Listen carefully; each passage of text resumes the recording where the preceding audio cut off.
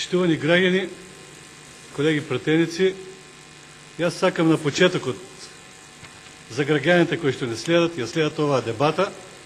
го следат ова наше барење, да појаснам, ке прочитам во Законот за влада што пишува во членот 14а за кој што дебатираме, за кој што зборуваме. 14а. Председателот на владата на Република Македонија на кој му престанала функцијата има право на лично обезбедување од 6 лица вработени во Министерството за внатрешни работи, како и право на користење на службено возило и возач. Лицата од ставот 1 на овој член се избираат од страна на председателот на владата на Република Македонија на кого му престанала функцијата. И така натаму и така натаму. Значи тоа е суштината на членот 14а во Законот за влада за кој што сакаме ние како опозиција да биде целосно сменет или целосно отстранет од овој закон. Најпрво сакам да кажам неколку збора за тоа како е внесено ова законско решение во почетокот на 2013 година, некаде 21 јануари 2013 година, преку двајца пратеници од ВМРО ДПМН, кои што имат за задача по наредба се разбира од премиерот Груевски, на нивна лична лична иницијатива во ова собрание е предложено ова законско решение да се внесе значи овој член 14а го предлагаат овие двајца претеници без никаква дискусија, без мислење од влада, без ништо си поминува законското решение, а посебно е интересно што во тој период и опозицијата поради настаните од 24 декември не е присутна овде во собранието на Република Македонија. И тоа е тоа што сакаме кога зборуваме за тоа како е внесено ова законско решение да го разјасниме. Бидејќи ова е стилот на работење на Никола Груевски. Значи, вие,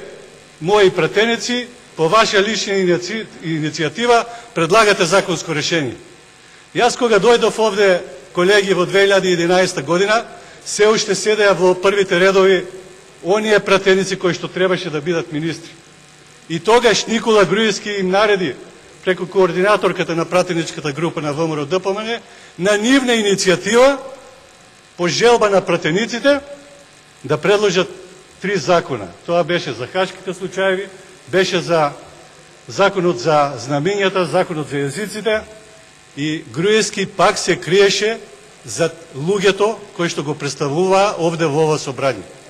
Како што се крие за ова законско решение се што е непопуларно, се што не носи поени, се што не качува рейтинг, мора да биде преку некој друг и Груевски да се скрие за тој некој друг. Така беше и тогаш, се бркаа пратеници, се јавуваа по телефони да дојдат овде, да дискутираат и да гласаат за тие законски решенија, додека уште не беше формирана владата на Република Македонија. А Груевски во јавноста кажуваше дека тоа е иницијатива на претениците од ВМРО ДПМН, ВМРО ДПМН, иако беше тоа еден дил, една, еден договор помеѓу ВМРО ДПМН и ДУИ. Исто е и ова законско решение, законот за влада, овој член 14а, на лична иницијатива на претеници кои што воопшто него ни објасниле законот, ниту дискутирале, ниту било разгледувано или не било разгледувано мислење од влада, затоа што немало мислење од влада. И сега се поставува клучното прашање, клучната дилема во ова сето што го имаме денес за овде за расправа, а тоа се поставува главното прашање што го мотивира, што го натера Никола Груевски во 2013 година, во почетокот на 2013 година, да го предложи ова законско решение и неговите претеници се разбира да му го изгласат. Бидејќи од 90-те години самостојна Република Македонија се сменија повеќе премиери, ниту еден не повара да има шест луѓе обезбедување, да има кола, да има шофер, возач, ниту еден не повара. Прв беше Никола Груевски. Дали Никола Груевски во почетокот на 2013 година, после настането од 24 декември, свати, разбера дека со неговите постапки, со неговото действување, со неговите законски решенија, со сите тие работи кои што далеку од очите на јавноста ги слушнавме во вистината за Македонија, доби непријатели кои што беа спремни и лично да го загрозат премиерот кој што тогаш се уште беше актуелен премиер, сега е екс-премиер. Слушнавме од вистината за Македонија дека е имало луѓе кои што имале големи материјални загуби, имало луѓе кои што имале други загуби на дел од нивната политичка кариера, дел завршија во затвори и сигурно сите тие постапки кои што беа резултат на работењето на оваа влада, резултат на работењето на Никола Груевски доведува до тоа да тој во почетокот на 2013 година сака да има постојано обезбедување и тогаш кога нема да биде премиер на оваа држава. Зошто ако погледнеме од друга страна, Груевски и ден денес кажува, се фали дека народот многу му верува, дека народот го сака, дека народот затоа и го гласа. И се поставува пак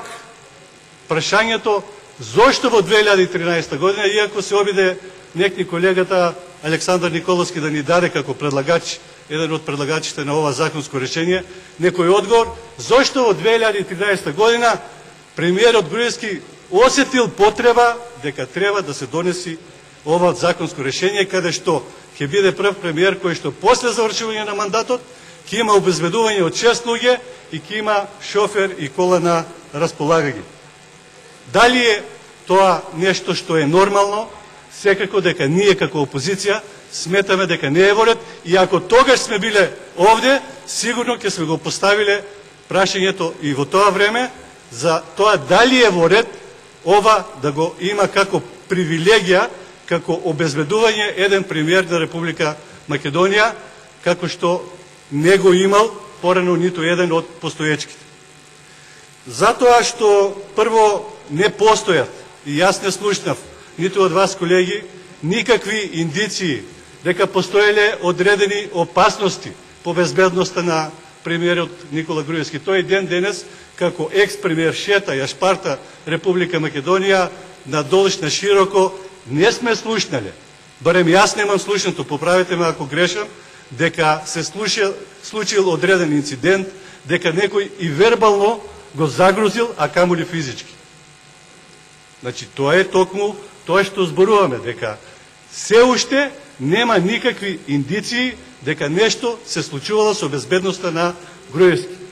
Од тој аспект, јас сакам да ви кажам дека разговарав и со двајца експерти, експерти во оваа област, кои што велат дека апсолутно не е добра, не е коректна, не е на место, не е издржана